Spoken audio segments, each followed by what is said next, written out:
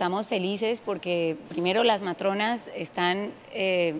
encantadísimas, dicen que ha sido de los mejores Em, festivales que han vivido, todo muy organizado. 80 millones diarios en ventas dentro del festival, yo creo que no se puede pedir más. Como saben, hemos querido dar este año eh, un enfoque responsable eh, medioambientalmente y eh, pensando en la inclusión productiva de las mujeres, entendiendo que ellas son las guardianas de nuestras tradiciones gastronómicas y les hemos dado absolutamente todo el protagonismo a ellas y nos hace inmensamente felices saber que pudieron, en muchos casos, por ejemplo, con el dinero del festival, terminar de pagar su semestre o poder ayudar a sus hijos a completar sus estudios. Eh, nos hace muy felices eh, saber que desde la cultura también se puede generar riqueza y no solo riqueza material, sino también inmaterial para nuestro pueblo y para nuestras mujeres.